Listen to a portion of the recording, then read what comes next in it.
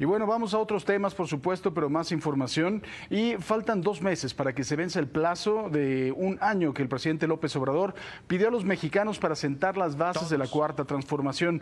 Durante su conferencia matutina, eh, lo que ha dado a conocer es que ha cumplido con 95 de los 100 compromisos que ofreció al inicio de su mandato. Entre las promesas cumplidas destacó la construcción del tren Maya, los caminos de concreto en las cabeceras municipales, la eliminación del Estado Mayor Presidencial, también la partida especial para la compra de ropa de él y de su familia y dio por hecho la venta del avión presidencial. Sobre los cinco compromisos que están pendientes se encuentra la descentralización de eh, las dependencias del gobierno federal, el regreso a las comunidades del impuesto minero, la eliminación de todos los fideicomisos aperturados en los demás sexenios pasados, así como la desaparición de los 43 jóvenes normalistas de la normal rural de Ayotzinapa y también el impulso a las energías renovables. Sobre el tema de la inseguridad y la violencia, esto fue lo que dijo el presidente de la República.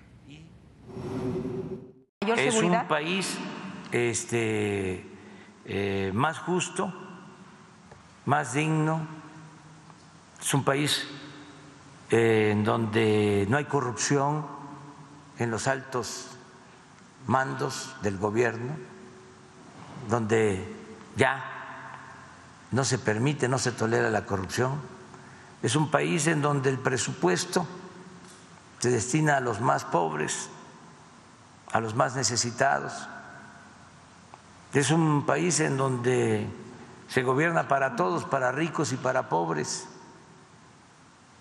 en donde el gobierno no está secuestrado por una minoría.